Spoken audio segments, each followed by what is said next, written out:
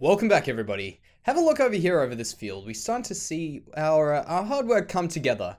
And right behind us is what's about to be some more episodes, I guess, of some really hard work. You can also see the mountains starting to come up there. Look at that. Actually, if I walk a little bit forward, we should hopefully, yeah, see, see it in all its glory. Coming along very, very nicely. But today what we're doing is we're getting started behind us over here on what we started in the last episode being the windmill project.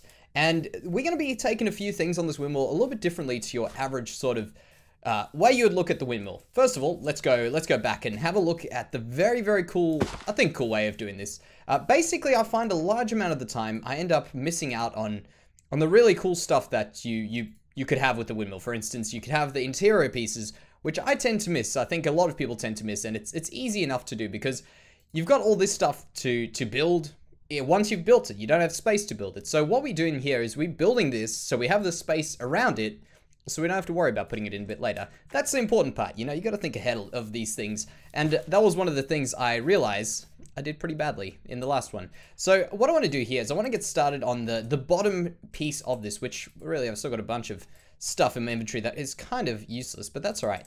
Uh, what I want to do is I want to start getting on with the, the bottom part of this, which is really going to be almost like a barn. And it, I think it would make sense for a windmill to have something similar to, to a barn on it. Uh, being a place to store the wheat, be a place to to pick up all the all the flour that's been made and all that sort of stuff. I think it's quite important. So I think what we'll do is we'll get started with that. Let's check some heights out here.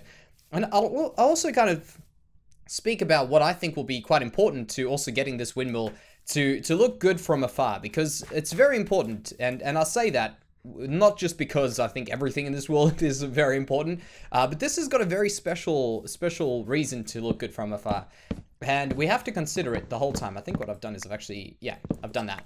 This is also, by the way, a neat little thing I've been been trying to work out a little bit recently is going ahead and leaving the corners like that and, and just using the corners to mess around with another block. Sometimes that's a, a cool, neat little trick to, to make sure your windows in buildings aren't actually next to a corner. Putting your supports spread out like that. So, it sounds kind of weird, but imagine you just put a, a window in here your window won't be on a corner. Sometimes corner, if, if you know what I'm talking about, that could help you, I guess. If, if not, don't worry, I'm sure you'll, you'll probably come across it someday, but it's, it's just sometimes what happens is when you got corner windows, uh, they become a bit difficult to to mess around with. Uh, so what I want to do is I want to get started on, on the doorway to this place, and I'll also ex explain what I've got over here. So going in here, this will be the entrance to the barn. You walk up, you can see there's grain, which we could be taking. We could be delivering some, well, this would actually be the flour, I guess. We could be delivering some grain to this place. We've got an area here to store it. Similar, actually, quite similar to the barn, of course. But we've got to have some, some practical reasons for it. Of course, we're going to have a different different design on the barn completely, which is pretty important. But you would want to store stuff like that. There would probably be some other stuff going on in here, which makes sense for us to have a bottom, which a lot of the time, I think, when people build barns, myself included, uh, you end up forgetting that there's... Oh, just do that. Uh, you end up forgetting that there's a whole bunch of other stuff that you, you really could be doing to make the barn a bit... The windmill, sorry, a bit more interesting than what it, it normally is. Because I find normally you just end up doing a windmill. Actually, wait, I want these I want these really facing the other way. Uh, you end up just doing the windmill base, but we really could be doing a lot more stuff with the windmill. Maybe something like that. There we go. One, two, three. How much does that leave us open? Yeah. I'm trying to do like a sliding barn door. I think that would look really neat. In fact, if we've done this one here, what makes sense would be to probably go ahead and make it on the outside so we can look like it's sliding behind the other one. Uh, but I think I think that's the thing. It's it, it could be cool to have a barn and a windmill combined, and really just make it a little bit more different to to what you would normally have. And let oh what, no what this mouse is driving me crazy. I'm telling you this now, guys. This this is going absolutely nuts on me, and, and my sensitivity is so so low. Uh, but that's all right. So we'll just start off with this, uh, maybe something like that, that, and that, and of course, I know someone's gonna tell me. Wait, wait for 1.13. We we're gonna have ourselves some really, really good, uh, good blocks to work with here. Okay, this is not good. You see, the way, the way these little handles are turning on the doors is what's the problem here. So if I can get that there, no. If I go on this side, does it do it? Still not. Okay, I'm gonna have to trick this door into having the handle on the other side, like that. Okay, well, it did it automatically. Perfect. All right, so if we can get this to look like that, there, and there. That should all, yep, all three go like that. We can go ahead and make some more. Uh, this could look like it's a door pushing behind another door, and I'll show you what I mean by that with this sliding door. But because I think it's, I think it could be a pretty cool idea. So if we put them in there, and then we go around to the back here, and we do that as well, something like that. Maybe get rid of this one. It creates this little staggered effect. You see that there? And I think that could look really cool to to just look like it's actually being being held like that. In fact, can I do the same trick again, I guess, over here and, and put that in there? Wait, what? Okay, yeah, it's because of this door here. So there we go. Beautiful. Right, so these are the doors that I was planning on doing. Something like this, a little bit different. Hopefully this works. I, I don't actually know if this is going to work. It's just an idea I had for it. And uh, I think it's worthwhile trying. So if we do something like that, that, and that, and then we'll just pop them all, yeah, like that. And then head over to this side here and we'll just do it as these like that to make them three, three tall because really the two tall doors, yeah, they, they're not going to work for barn doors. I think we can all agree on that. All right, that has not convinced me, but I think it could convince me when we get the 1.13 stuff. So what I want to do, uh, because it's going nighttime, I'll get a lot of this bottom piece done because it's quite important. It's uh, it's just going to be kind of me just planning out walls. After a lot of wrestling with my mouse, I finally got this. This little piece out here. Now this is really just a starter. This is how we're going to be working, what we're going to be working from, really. And it's it's definitely not necessarily going to be this way when it's done. I just wanted to get a bit of a concept out. First of all, it's easier for you to see exactly what I'm trying to do. Besides that, it's also easy for me to see exactly what I'm trying to do. And that's a, that's a cool little, little tip to just think about. Just trying to get something there and then we can chisel it away, work it out. But overall, this barn is going to be a lot more simple in terms of the, the curves and the, the things we're doing with it in comparison to the one that's a bit further out this way. And I'll, this was actually, this is, well, this little piece here, I want to relate back to what I said in the beginning of it, of it meaning, having a, a good meaning from a distance. And I'll show you what I mean by that. And yeah, that, that's all going to be covered. Just bear that in mind. Uh, so from here, you can see this barn, a lot of stuff, a lot of detail, just little things sticking out. And we've also done something with doors here, trying to make this a little bit more interesting. Now, from a distance, let's go out to said distance, which is really where we expect this to be looked at. We don't necessarily expect people to go up, but I mean, people can go up, and that's that's the cool thing. So from here, we don't want this to be too large. We want this to be obviously a windmill, but we also don't want it to be uh, a very overly detailed one. You can see we don't see a lot of detail from here. And when we start putting a lot of detail in at a distance, it starts just making it look very messy. So uh, what I want to do is I want to maybe make the shape a bit more important than the detail itself. So that is very important. Also, you can see this one is definitely shorter than this barn, but not actually that much. Uh, but it does give the illusion of it being further back, which is fantastic. We want this place to look as grand and as large as it can possibly be. So those are some important things to just consider while we're building this because you may you may quickly think like, wait, this is looking very, very small. Compared to that, yes. Compared to what we want it to look like, I think it's looking the perfect size right now, in fact. So what I've done is I've gone ahead and I've got this little piece on the side in here, which is going to be where you're going to be storing in your wheat and all that sort of stuff. Let me actually drop some of these down here right now. We don't we don't actually need to decorate this like this right now, but we may as well. We've got the got the stuff waiting for us as well use it. There we go. Just something like that. It's, it's definitely going to change.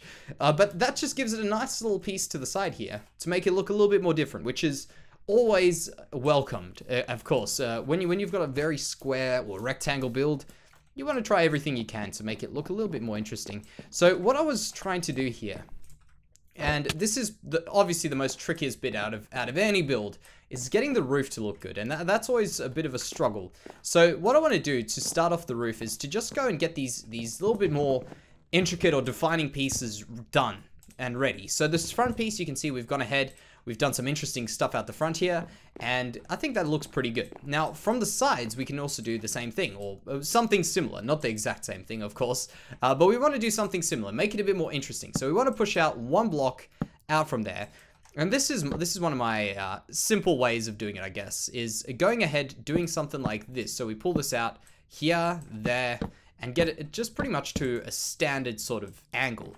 And then all I do is I just go ahead and drop those on top. Like, sorry, there. And now, you'll see from the front, Well, I mean, this this is pretty bad with this tree in the way. Uh, but that little piece of roof actually does look pretty good.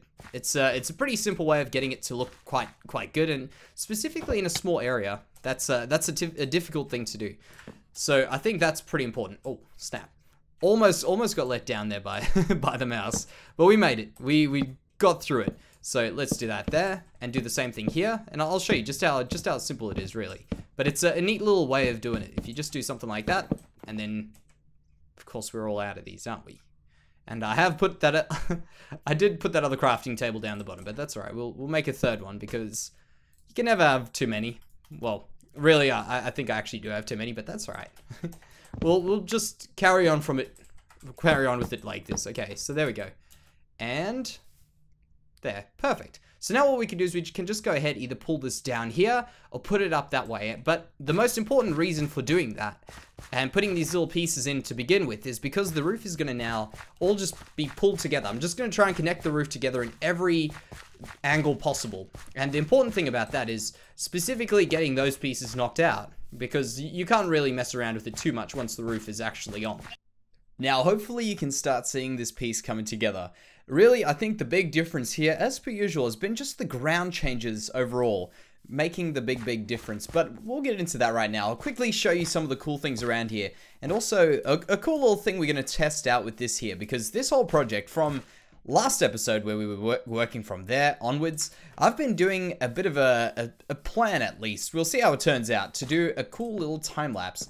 By the way, you can see interiors not quite done. We started messing around with the roof here a bit. However, I've come into a little bit of an issue with the roof, uh, being that we haven't yet done the central column that's going to be holding the holding the whole literal windmill up, the the whole thing itself up over there. So we've got to get that piece in before we can actually complete the roof in the middle. So we'll we'll leave that to the side and come back to it a bit later. But you can see at least it's going to be pretty much that wide. And to be completely honest, from this side that we were looking dead on, it doesn't do it much justice. But from this kind of an angle here, you've got the path, you've got all that. That's that's where it's really looking very, very good. So my cool plan with this area is in the in the next few episodes, once we finish this area off, that little piece, I want to test out a cool little thing we can do. For instance, when we build a big area like the the whole field and we do some time lapses, I'd like to do one mega time lapse of all the builds we've done and all of the all of the terraforming and stuff that we don't necessarily see in the video because there's a lot of cool stuff and it, it, normally looks pretty cool when you do it in like a super fast speed. For some reason, I mean, I could I could make this whole field dirt, place one grass block in the middle, and I probably would find that a pretty enjoyable time lapse. And I don't know if it's just me, but there's something really satisfying about watching stuff happening like that uh, so much faster than than uh, than what you would normally see it. I guess this it's I guess the novelty factor of it. So what I want to do with that is, of course, we'll we'll do that as like a separate extra episode if we do get it right, and I think it'll be really cool. And if you're wondering, it's through the use of the replay mod that we're going to do that. Uh, but right now, what I, what I think is the thing that's really making the difference, because of course we're doing the barn for this, which is what we're doing today, and then we'll be doing the actual, I, I don't know what you call the tower of it, uh, separately. But I think what's made the big difference to this has been just adding in these little pieces here, the, the little bits of grass, the, the texturing to the ground. Uh, but my thought is, this actually looks like it, this looks pretty dark. I'm wondering if there's water around here somewhere. Because that looks, that looks awfully dark, actually. Might just be wrong. But uh, it looks like perhaps that that... Oh, yeah. Yeah, those... They, they get stuck in that block there. But that looks... Yeah, maybe, maybe I'm just going crazy. But yeah, that... that the idea is that this little bit here has really changed this area a lot. And just adding in these little little bits of, of texture, I guess, in the ground, being the, the coarse dirt and the normal dirt as well, and also the grass, just playing around with it, podzol, that, that's made a big, big difference. So coming in from here, I want to also do this little flight over here because this is a neat little, little thing to see. So if we come around here and we'll stop, let's check if we can stop around there. Coming through this little valley here, we're going to have, obviously, this whole area is going to be a, a big valley. We're going to have another mountain on that side. And we're going to have a little funnel over here where the wind's going to be coming through to, of course, power the windmill. So what I want to do is have the, the crops working their way up the side there and working their way up there, but getting very, very sparse as you get through this area here. And another thing also, you may be wondering, we did change the ground around there to fit this area in a little bit better, and I think it is definitely working a lot better than what it is what it was in the beginning, but that that was just a matter of us a matter of us getting the building on and uh, and getting that working for us. And yes, we will fix that. Do not fear. Now, another weird thing, unrelated, I guess, to... Oh, man, these, these are actually pretty bad. I really should have brought a bit of a bit of dirt with us. Uh, but unrelated to this build, of course, uh, and more related to our channel. Uh, recently, I'm sure you're probably going to hear this many, many times from many, many people making many, many videos, uh, is basically YouTube has come around and uh, told us exactly how the notification system works, which is really not like a crazy thing. And you may have heard this before, but uh, and and we've all kind of understood it the way it is, but it's kind of just been been now formally, I guess, laid out, and uh, we we are aware of it. Uh, basically, the idea is I, I often get this every now, well, often being pretty pretty regular actually, to be honest, uh, where someone says that they my video didn't show up in a in a notification or a subscription feed. And there's a pretty neat video on it, but to to be like completely quick and easy with it, there's there's the notification bell, which is next to the subscription button. If you guys don't know about that, that thing there will give you all the notifications if ever you want to actually catch an episode or, or anything along those lines. Those are the that's the thing that needs to be ticked. So just subscribing is a cool thing, but uh, it won't get you every notification. And sometimes I uh, I wonder about it getting the sub box, but that's that's a whole other story. Uh, but those are the sorts of things, if you guys do want to make sure you can catch the episodes, uh, it, it's pretty useful to find it. So that's just a little thing. I don't want to carry on about it because I'm sure you guys are going to hear it many, many times, specifically because it, it's pretty fresh news right now, of course, and uh, yeah, you, you'll, you'll hear about it for sure. So back to the build, of course. What my plan is for this area is to just go ahead and, and get this whole place covered off really, really nicely. And of course, we'll have to just wait because we don't have quite enough bone meal. I think this could actually be some of the last pieces of bone meal. I think I've got one stack of bone block left uh, for bone meal before we almost on our, our last little bit of bone before we have to AFK, which is going to be nuts. It's going to be crazy. Uh, so what I want to do here is I want to just go ahead and finish off a bit more of this area, get it tied in a bit better, because it's good to bring you guys in in the middle so you know exactly what's uh, what's the stage that I'm going through. You know, build that, go to that. Now, there are a few things that I want to figure out before we go any further with this build, what we should be putting in here. So basically, ideas for what we would have in your general flour mill. Some place, for instance, to store the flour, a way of making, for instance, sacks of flour, like you would find, uh, just to lie around the place. Just the smaller details, I guess, is what's going to be the difficult thing to add in here. I've also thought about different ways of trying to get a good gear, for instance, like a cog that looks like it's turning. Uh, I've, I've tried to come up with a few ideas for that. Nothing 100% good yet, but I've got a few ideas in a creative world. So if you guys have any clues, that would be very cool. That would be very cool to add in here, and uh, I'm sure there are some good ways to get it. But uh, I've been very busy with my, my Diamond Hoe over here, which, by the way, is uh, is kind of the best one you get now. Unbreaking 3, Mending, it's pretty crazy. I never thought I'd see the day where I needed this this many times, but uh, it's been mended up a fair few times, and it's still doing very, very well. The only thing that isn't doing too well, of course, is the crops themselves. They seem to be be taking their time, and that's just going to take a bit of time just to, to go ahead and do that. I'm going to have to AFK, probably AFK in one of these little silos, make them useful for, for something more than just storing the wheat itself. But overall, I think this area is definitely turning out very, very good. Like, looking at that, I can see this. I can picture this thing going up here with the, the windmill blades coming off. I think the blades you guys are going to love. They're going to look very, very cool. But overall, just a few a few things have to have to go in here. Some of the finer details would be cool to add in here. And of course, I'd love to hear you guys' ideas. I'd also like to hear you guys' ideas for the actual tower part of it as well. What we could be doing for that and how we could do the roof, for instance, would be awesome. Uh, but for today, I think we'll go ahead and call that an episode. I'm very, very glad with the way this has turned out. And uh, I'm very, very excited for what it's going to be looking like in the next episode. So thank you everybody for joining us along with this build. And I'll see you in the next one.